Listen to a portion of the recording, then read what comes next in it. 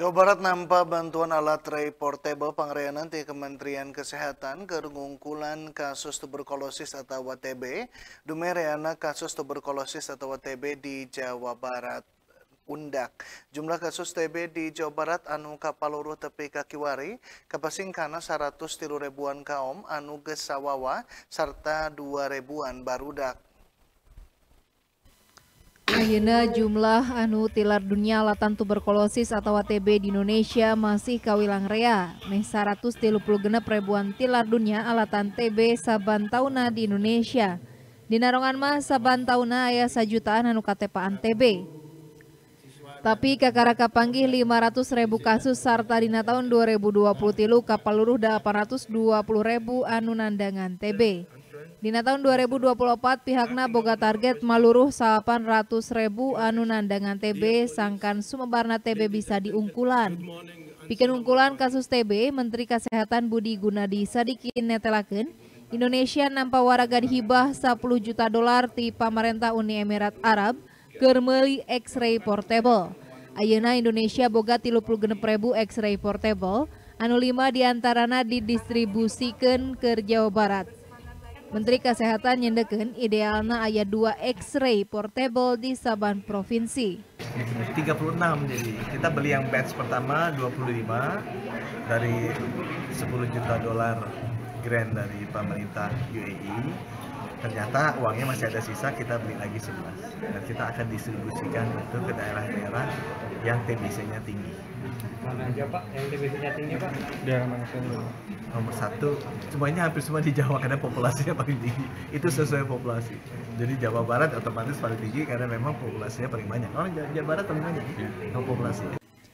Penjabat Gubernur Jawa Barat Bayi Mahmudin ngebrehkeun tilu alat X-ray portable sangkan prak-prakan screening anu nangan TB leuwih gancang ayah hiji di RSAS dua di RS Rotin Sulu serta dua deui di RS Paru Gunawan Bogor. Dua Rotin Sulu 2 RS 1 RSHS 1 Rotin Sulu 2 RSHS 1 di Bogor di Rumah Sakit Paru Gunawan 2 jadi 5 total ya kami menyampaikan terima kasih kepada kementerian kesehatan. Jawa Barat itu memang tertinggi kita itu karena eh, ya karena tadi kata Pak Menkes karena kita jumlah penduduknya banyak dan susah untuk screeningnya susah. Jadi dari satu juta kemarin dapat 500 sekarang sudah meningkat lagi gitu. Jadi ya dengan alat itu kita berharap eh, akan lebih banyak lagi yang bisa didapat. Kepala Dinas Kesehatan Jawa Barat Vini Adiani Dewi, Ayeuna di Jawa Barat kapal luruh 100 ribu kasus TB anu gesawawa serta 20 ribu kasus TB barudak. Rereget numpas penyakit tuberkulosis atau TB alatan stigma di papada masyarakat anu henteu mariksakeun diri ke rumah sakit nalika nandangan gejala TB diantarana batuk leuwih ti dua minggu, berat awak nyirorot serta panas.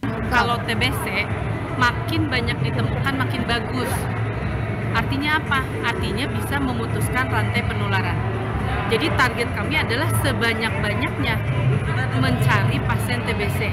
Makanya kenapa sekarang dilakukan screening ya dari kalau dulu itu kami menunggu gitu ya, menunggu pasien datang. Kalau sekarang tidak dalam situasi apa pun kami lakukan screening. Baik itu lewat sekarang lewat portable ataupun ketika ada yang batuk walaupun dia tidak mengeluh uh, sakit ke arah TBC kami pasti kalau gejalanya sudah ada batuk ke arah TBC pasti kami screening gitu.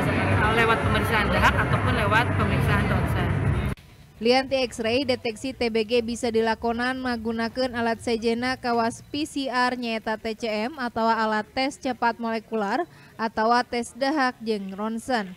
Tapi kayana Indonesia boga dua ribuan alat TCM. Budi Hartati, Bandung TV.